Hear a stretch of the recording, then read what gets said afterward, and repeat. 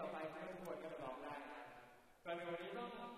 ขอบคุณซีนมากนะครับแล้วก็ขอบคุณที่สำคัญคือพี่ตุ้ยเจอพี่ทัศก็เขาเป็นผู้บริหารซีนนะครับก็มาเล่นซีนครั้งแรกนะครับจะเล่นเพลงใหม่ที่แต่งโดยพี่ตุ้ยโดยเฉพาะนะครับชื่อเพลงตุ้ย